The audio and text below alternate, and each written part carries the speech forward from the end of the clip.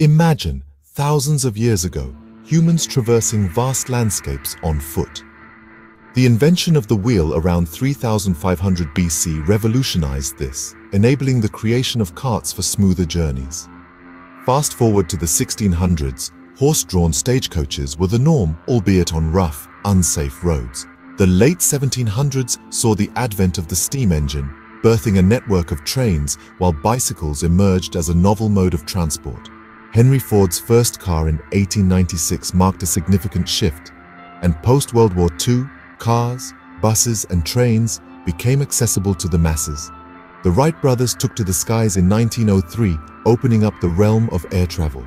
Today, we zoom around in cars, trains, planes, bikes, metros, and even rockets. We're steering towards electric cars and self-driving vehicles, with GPS and smart tech enhancing safety and ease.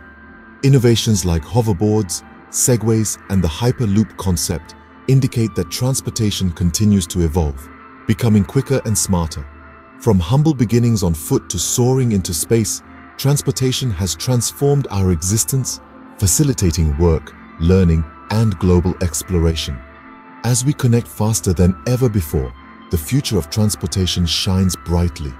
With the growth of technology, travel becomes smarter, cleaner, and more thrilling. So buckle up, the adventure is only just beginning.